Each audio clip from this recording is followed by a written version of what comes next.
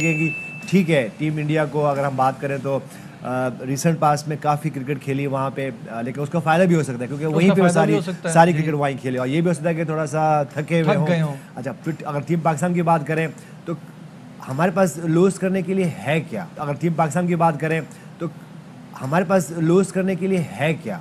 हमारे पास लूज करने के लिए है क्या? तो मेरे ख्याल से ये प्लस पॉइंट है कुछ नेगेटिव पॉइंट्स है। अगर इससे थोड़ा सा अपने आप को कंबाइन करें और मेंटली थोड़ा सा स्ट्रांग प्लानिंग होना है अच्छी भारत करें ट्रेनिंग देखिए हमारे पास देखिए लूज करने के लिए कुछ भी नहीं कुछ है। भी नहीं। जब कुछ है ही नहीं तो फिर क्या क्या है? अपने आप को एक्सप्रेस करें। और हमारे पास ऐसे एक्साइटिंग प्लेयर मौजूद हैं जो कि टीम पाकिस्तान के लिए हमारे लिए अच्छी परफॉर्मेंस कर सकते हैं। जय हिंद दोस्तों T twenty cricket world cup में इंडियन क्रिकेट टीम के खिलाफ इन पाकिस्तानियों का खतरनाक प्लान सुनकर आप दंग रह जाएँगे। और इस वीडियो में लगातार पाँच वर्ल्ड कप में भारत से हारने के बाद कुछ पाकिस्तानी मीडिया का रोना देखकर काफ़ी मज़ा आने वाला है। हाँ दोस्तों यदि आप पूरे वर्ल्ड कप दौरान इस पाकिस्तानी मीडिया का पूरा मज़ा लेना चाहते हैं तो चैनल को सब्सक्राइब करके अपनी प्रतिक्रिया कमेंट बॉक्स में देना ना भूलें। अब अब आखिरी वक्त जो चल रहा है हमारी ट्रांसमिशन का तो उसमें हम ये बात कर लेते हैं ज़रा कि पाकिस्तान के लिए वैसे तो सारी टीमें बहुत ज़्यादा स्ट्रॉन्ग हमें नज़र आ रही हैं लेकिन ज़्यादा टफ कौन सी टीम हो सकती है? और हमें देखें अच्छा किसके खिलाफ खेलना है? हमें इंडिया के खिलाफ तो लाजमी अच्छा खेलना है हमें न्यूजीलैंड के खिलाफ बहुत अच्छा खेलना है हमें इंग्लैंड के खिलाफ बहुत अच्छा खेलना है। यही नहीं अभी और सुनिए। तो इन तीन टीमों के अलावा जो कि तीनों ही बहुत ही तगड़ी टीम है बाकी कौन सी टीमें हैं आप किसी के खिलाफ हल्का खेल ही नहीं सकते। आगे अफ़गानिस्तान है इसके बाद। उससे भी आपका लास्ट बॉल देखे ना इनके साथ तो जरा जरा पंगे हो गए हैं ना हमारे इन तीन टीमों के साथ। इंडिया के साथ तो सदा का है।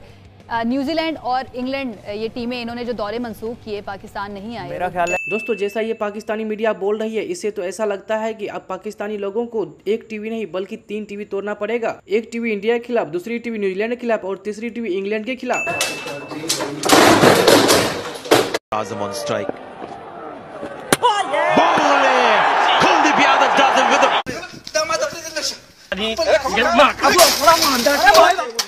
टीम के स्पेशली जब पाकिस्तान का मैच होता है आपने देखा होगा कि उनकी बॉडी लैंग्वेज में और हमारी बॉडी लैंग्वेज उसमें बहुत ज़मीन आसमान का। फ़र्क होता है। ये नहीं हम हम कह रहे हैं कि उन पाकिस्तान को खेलना नहीं आता।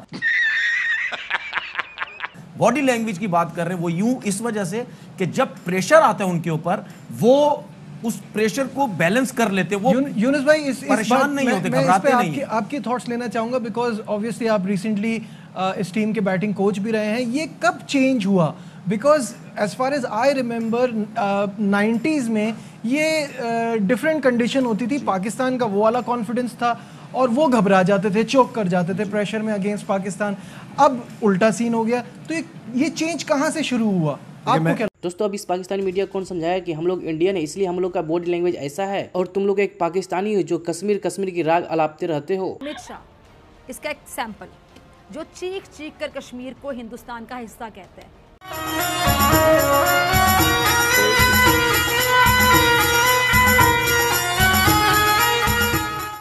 ये डिफरेंट कंडीशन होती थी। पाकिस्तान का वो वाला कॉन्फिडेंस था और वो घबरा जाते थे चौक कर जाते थे प्रेशर में अगेंस्ट पाकिस्तान। अब उल्टा सीन हो गया। तो ये ये चेंज कहाँ से शुरू हुआ? आपको मैं, क्या लगता है? मैं कह सकता हूँ कि अर्ली 2000 में ये चेंज हुआ। चेंज इस तरह हुआ कि अगर हम इससे पहले 90s की बात कर रहे हैं तो अ, वो हमें फॉलो करते थे। हमारे क्रिकेटर्स को फॉलो करते थे। बड़े बड़े नाम होते थे। उनको वो सबको भाई करके बुलाते थे और उन यही नहीं अभी और सुनिए। तो उनके उनके फैंस होते थे।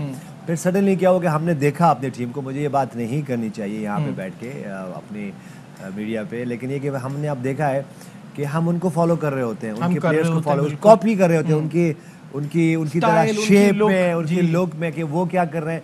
तो देखिए हमेशा आप वो जो कहते हैं ना कि आपको अपनी चाल चलनी है। मेरे ख्याल से जब भी इंडिया पाकिस्तान के मैचेस होते हैं हमने भी देखा जब हम खुद भी उस टीम का हिस्सा रहे कि टीम इंडिया बाजूकात बहुत ज़्यादा सुपीरियर होती थी। बहुत अच्छे लग रहे वहाँ पे सचिन तेंदुलकर होते थे वीरेंद्र सहवाग होते थे उसके बाद राहुल द्रविड़ होते थे। लेकिन जब हम खेलते थे तो हम एग्रेशन से खेलते थे।